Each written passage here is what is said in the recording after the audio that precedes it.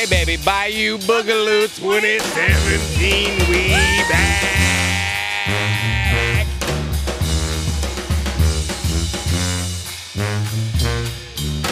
What's the Bayou Boogaloo? It's a, a lot of Creole food. Great live entertainment with uh, the New Orleans swag that's out here. There's great food, there's great music, there's great people, and there's games, and it's amazing. It's my first time at Bayou Boogaloo. We're having a good time. Such a variety of music and food.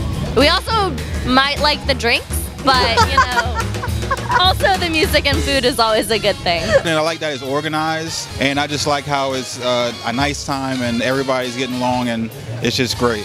Food was awesome. We got the sampler with gator and shrimp and your crab. If I didn't have orders as a military guy, I would stay here. The crab cakes with the like the crawfish gravy on top was amazing. We had the jambalaya, the alligator. It was all good. We loving it. Right here, this is a crawfish. Yeah, and it's alive. I'm working with a, a group of chefs from Louisiana, and I'm just a hungry guy getting free food. We own a restaurant in New Orleans, Louisiana called Nola Boils and Catering. We love seeing the people up here. We have a lot of repeat people that come up and see us too. Like, oh, we saw you last year and you showed us how to peel the crawfish and gave us an instruction. And, you know, people are happy to see us and we're happy to see them too. Uh, it's a pretty good vibe, very festive, uh, so similar to what you would find in uh, New Orleans. So We like it. So what do you like best of all about this whole festival? The music, Who are you here to see? trombone shorty. Trombone Shorty. We came down for the jazz festival, but uh, we said this looks a lot more fun. We got a good spot with the boat.